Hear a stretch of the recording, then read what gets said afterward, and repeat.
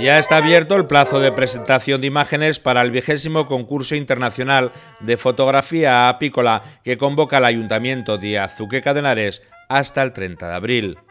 En las bases se establece que el tema de las fotografías debe ser la apicultura en cualquiera de sus aspectos, biología, flora, productos, colmenas y colmenares, usos y costumbres, comercio, promoción, arte o cualquiera de otras formas en las que se muestre el mundo de la apicultura.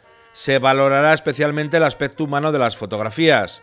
Los trabajos se deben enviar por correo electrónico a aulaapicola.gmail.com. Como las anteriores ediciones, en el concurso se establecen tres categorías. Foto individual, reportaje, de 3 a 5 fotos con una unidad temática, y foto histórica, para la recuperación de fotos no inéditas de interés histórico o artístico.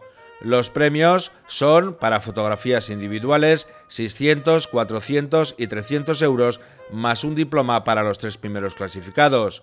Para reportaje, premio único de 600 euros y diploma. Y para fotografía histórica, un premio único dotado con 300 euros y diploma. El concurso, que es internacional, ofrecerá una exposición de las principales fotografías elegidas del 20 de mayo al 5 de junio en el Centro de Ocio.